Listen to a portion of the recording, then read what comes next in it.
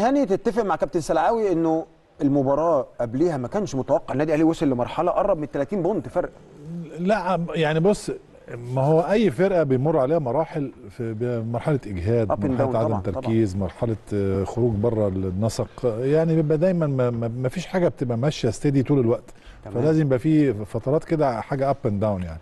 فالنهاردة الفرقة بتاعت النادي الأهلي لازم خلص ال curve خلص منحنى اللي هو ال- ال down وابتدى يطلع تاني ك يوصل للمستوى الطبيعي بتاعه مستوى الأداء مستوى رؤية الملعب مستوى إن أنا بلعب إزاي هدوئي تحكمي في إيقاع المباراة آه إن إزاي باخد الشوطة وأنا عندي شوطة آه بباسي لما تكون باصة سليمة آه شايفين بعض. شايفين بعض بنلعب مع بعض بنلعب defence قوي هي الأساس. الدفاع هو. الأساس الدفاع نعم. أنت النهارده اللي حجم نادي الزمالك هو إنك بتلعب defence كويس مم. فلما لعبت عليه defence كويس بتطلع بتحط fast break بتحط الكورة بسرعة هو بيرجع متلجلج عايز يلحق مستربع مش عارف يحط basket تروح عليه تاني يحط basket فعملت فرق score. طب كابتن تتفق معايا؟